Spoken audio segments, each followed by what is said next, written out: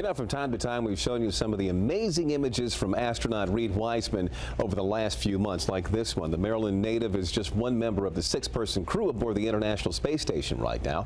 And while he gives us a look at what he sees outside like this, well, this afternoon, Randi Kaye gives us a glimpse of what happens inside, hundreds of miles above the Earth.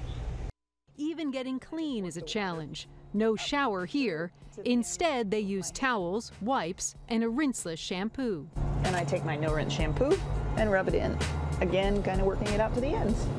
On board this $100 billion research laboratory, there are never more than six crew members at a time. They stay for about six months, which can feel like an eternity living on prepackaged food. Every so often, supply ships, like the one that exploded this week, bring fresh fruit and vegetables. Around our dinner table, this is a table for six. We don't have plates. Of course, we don't need plates in uh, in space because again, everything would just float away. There are no refrigerators in space, and salt and pepper only in liquid form. Otherwise, the particles would be airborne, clogging air vents or getting in an astronaut's eye.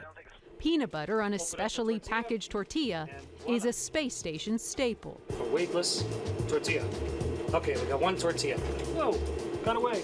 Most of the day is spent working on science experiments that only a microgravity environment can provide.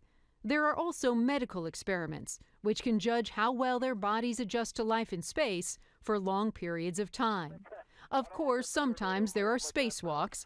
Otherwise, it's more mundane stuff, like what you might do at home back on Earth. If you got to change out some filters or you got to, you know, light bulbs burned out, you got to go take time to go change the light bulbs out. And while you may be weightless in space, exercise is a must, using equipment you won't find on Earth, like this treadmill.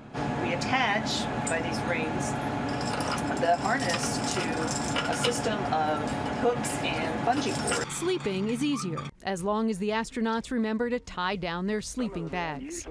When the mission is complete, a Soyuz spacecraft brings them back to Earth. The return trip takes just three and a half hours.